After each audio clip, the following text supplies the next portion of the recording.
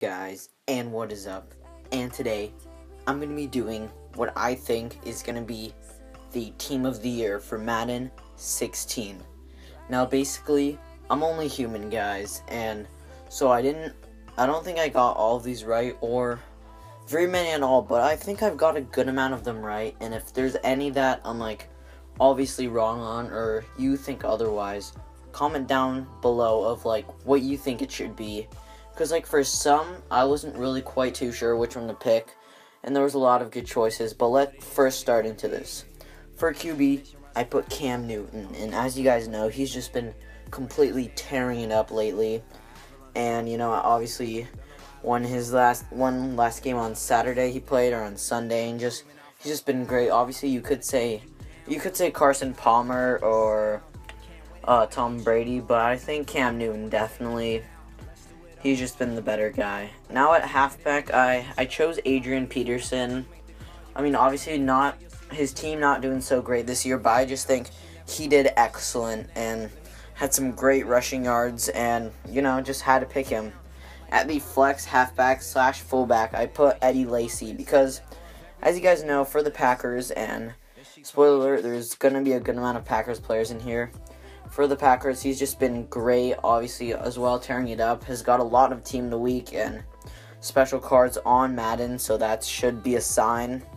Now, for two wide receivers, I have Antonio Brown and Larry Fitzgerald.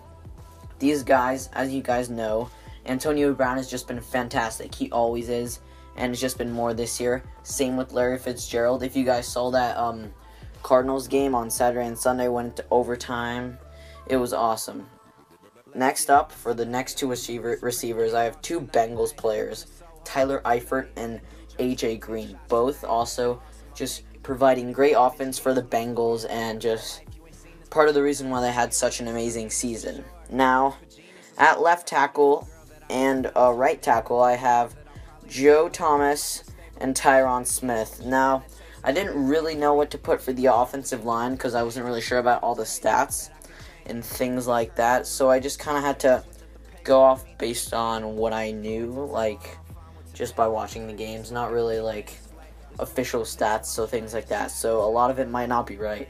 So for the two offensive guards, I went again with the Packers guards because I mean, you can never go wrong. The Packers have just been doing great, and you know can't go wrong with that. And for the center, I went with Maurkice Pouncey because you know I do know that he has been tearing it up. So that's definitely a really good card if, if he gets a team of the year. Now onto the defense. For our left end, we have Ezekiel Ansah, who's just has been playing remarkable and like if you guys have watched any of the Lions games, you know, you know, he's just been tearing it up and I know I say that about every player, but he's just been phenomenal. For our two defensive tackles, we have Geno Atkins, a Bengals player, and Gerald McCoy. Now, there's not a lot for me to like talk about these guys, but you know, they've just all been playing great. At right end, we have Chandler Jones. Our linebackers are going to be Justin Houston, NaVorro Bowman from the uh, 49ers, my favorite team. Obviously, not doing so well this season, but he's been uh, definitely solid. Then we have Julius Peppers and Tamba Hali. So those are going to be our linebackers. Our four uh, cornerbacks are going to be Josh Norman, obviously absolutely amazing young talent. Dominique Cromartie, Patrick Peterson, and Tyrann Mathieu. Just four incredible beasts. If even one of these guys gets a Team of the Year card, that'll just be incredible, you know? Just imagine having it on your team. You'll be unstoppable on defense. And our two free safeties are going to be Charles Woodson, who, as you guys know, is actually retiring this year. So I kind of decided to give him to as, as a memorial, and he's also been playing really good this season, so he deserves it. And at the strong safety, I went with Ha Clinton Dix because, you know, just for the banter, and he has been doing pretty good. I don't know if he'll, if he'll get a team of the year, but he could. You know, there's there's an off chance that he could.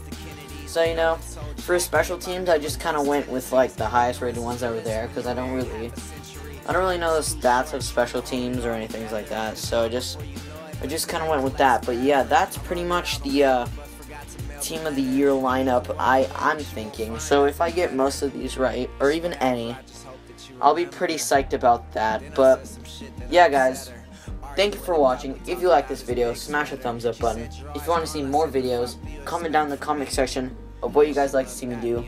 But with that being said, I'll catch you guys later. Peace.